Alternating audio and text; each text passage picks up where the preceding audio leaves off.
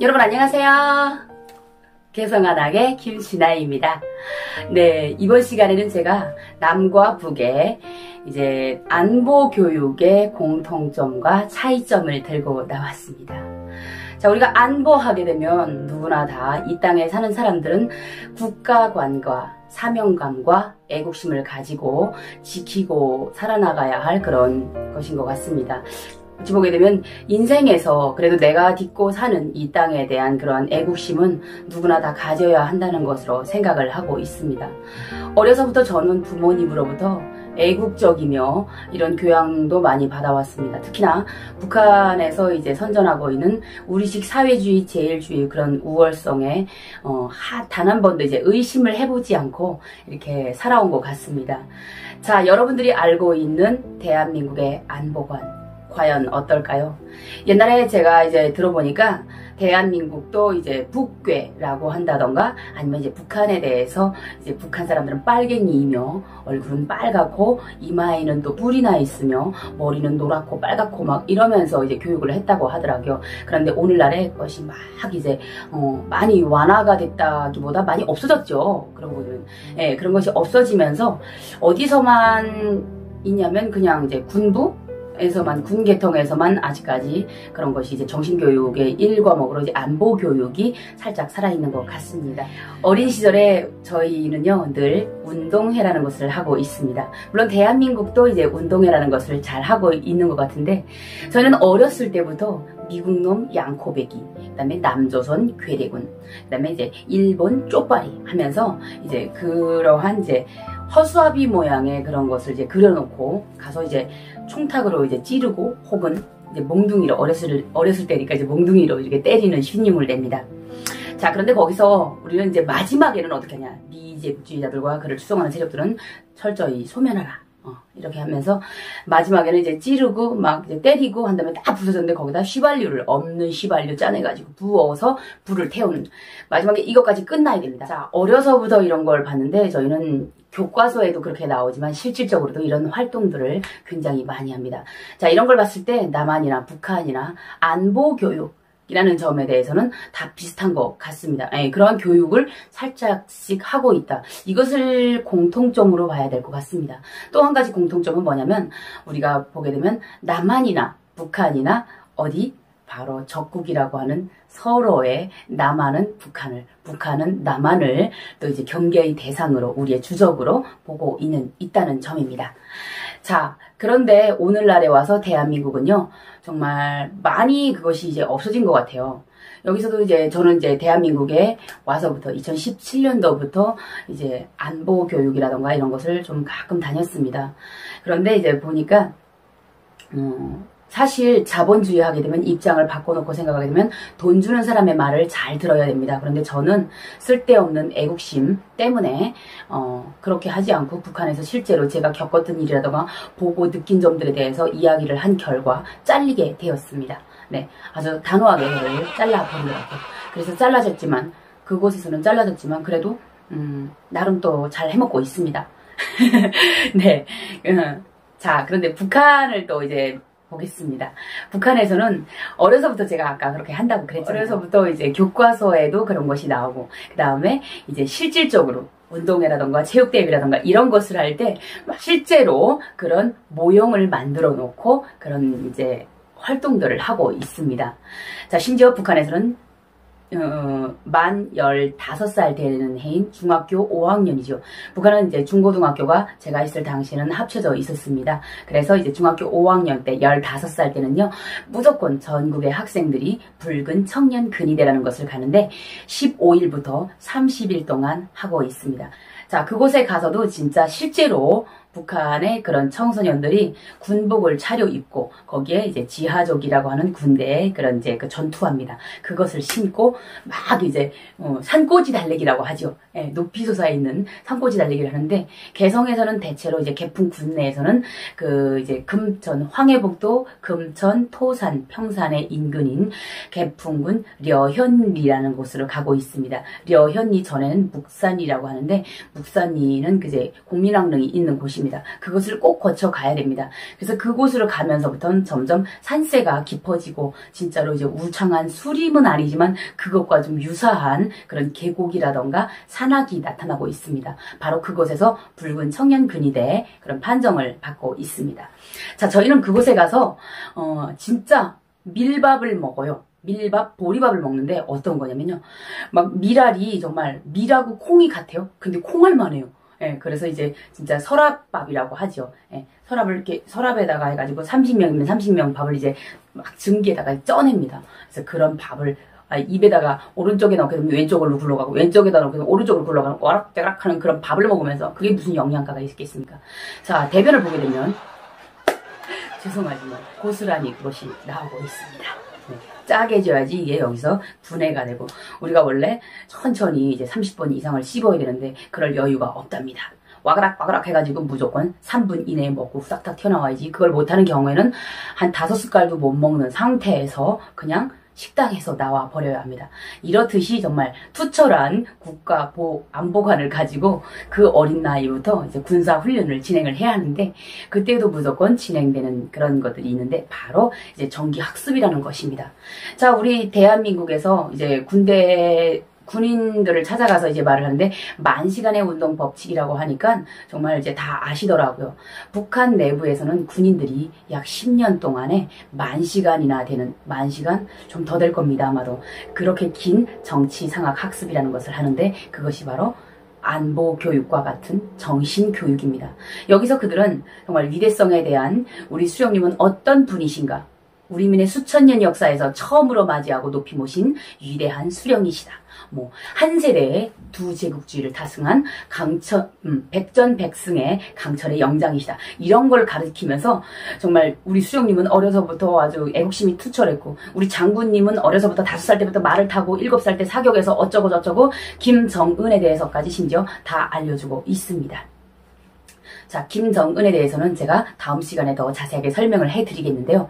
자, 이런 위대성 학습과 함께 북한에서는 음, 대한민국 군인들의 그런 전투력이라던가 그런 대한민국의 대한민국 군대의 그러한 어, 기술이죠. 이런 것들에 대해서 전혀 알려주지 않고 있습니다. 북한의 거의 련, 연대장 이하의 모든 직급들까지 심지어 대대장까지도요. 대한민국 군인들의 위력이라던가 이런 걸 전혀 모릅니다. 그래서 어, 저희들도 이제 저희는 음, 15살에 근, 근위대를 나가고 그 다음에 대학 2학년 때 교도대라는 것을 나가고 있습니다. 그래서 6개월 동안 전문 군사교육을 받고 있습니다. 군사훈련이죠. 네, 그런데 거기서도 마찬가지로 똑같이 정신교육을 하고 있습니다. 자, 군인들은 여기서 무엇을 배우냐면요. 적들의 군사기술적 우세를 우리는 사상 정신적 우세로 압도하자 라고 하고 있습니다. 이 그 구호를 자세히 살펴보면은 적들의 군사 기술적 우세. 적들이 누구예요? 바로 대한민국입니다. 군사 기술적, 군사에서 기술이 아주 발달했다는 걸 이것을 이미 인정했습니다. 하지만 우리는 그것을 그때 전혀 몰랐습니다. 아마도 북한군은 지금도 이것을 모를 것 같습니다. 자, 이렇게 가르쳐 주고 있는데 거기서 우리는 사상, 정신적으로 압도하자라고 그럽니다. 그래서 여러분 우리 흔히 보게 되면 강령실이라고 제가 저번에도 말했죠.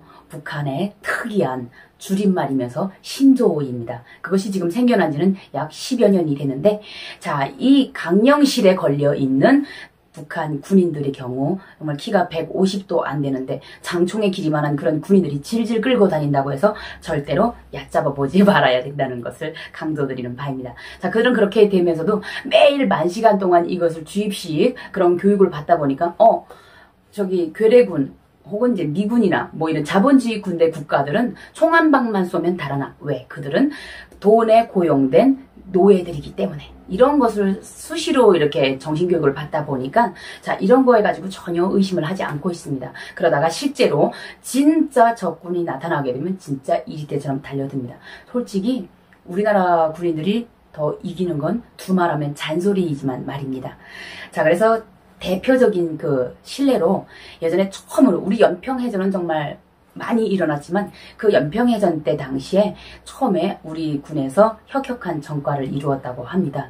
그때 당시에 조선인민군 중앙참모부에서 나와서 인터뷰를 했습니다. 그래서 북한군이 다리가 잘라지고 정말 눈이 하나 나가고 팔이랑 다 잘라진 그런 군인을 인터뷰를 했는데 그때 그가 남은 한 손을 가지고 꽝 책상을 내리치면서 한 말이 있습니다.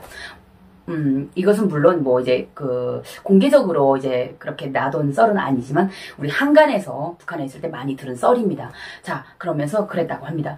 왜 우리에게 저들의 전투력을 알려주지 않았냐? 우리가 매일 듣는 정신교육에서는 적군은 총 한 방만 쏘면 달아난다고 하였는데 그들은 총 한 방을 쏘니까 열 방을 쏘고 또 그들은 우리가 총을 쏘게 되면 정말 대항하지 못할 것이라고 했는데 그들의 미사일은 정말 대단한 위력을 내뿜었다.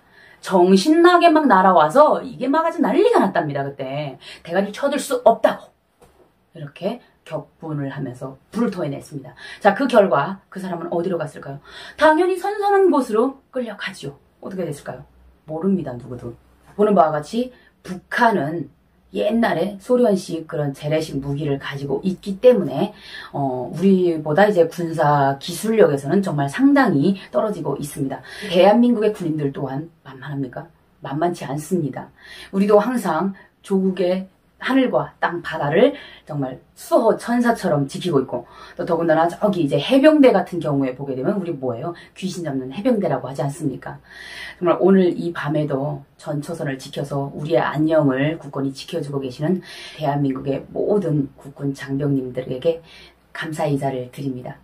자, 북한에서는 이렇게 만 시간의 운동 법칙이라고 하면서 굉장한 그런 이제 그 정신교육을 시키고 있습니다. 자, 그럼 여러분 그러면 국가 수호는 대한민국에서 보게 되면 이제 군인들만 해야 될까요? 그 외에도 대한민국도 보니까 그런 게 많더라고요. 예를 들게 되면 이제 민방위부라던가 이런 단체들도 있고 해가지고 군인들 그 외에 진짜 일단 유사시가 일어난다면 누구나 다 함께 조국보위 전초선에 설 수 있는 이런 시스템이 있더라고요. 자 그럼 북한은 어떨까요?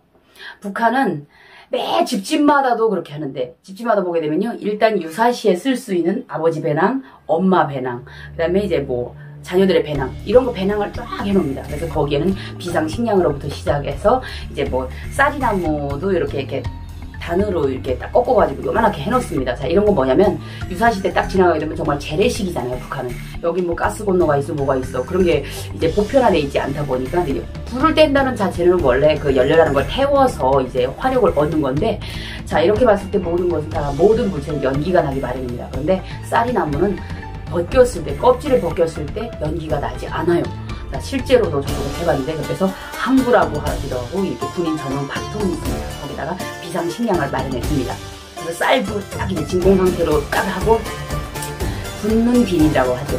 그거 가지고 꽁꽁 포장을 해놓고 여기에 미숫가루라고 하게 되면 합쌀이라던가 쌀, 그다음에 강냉이, 콩 이런 것을 볶아가지고 그걸 가루를 냅니다.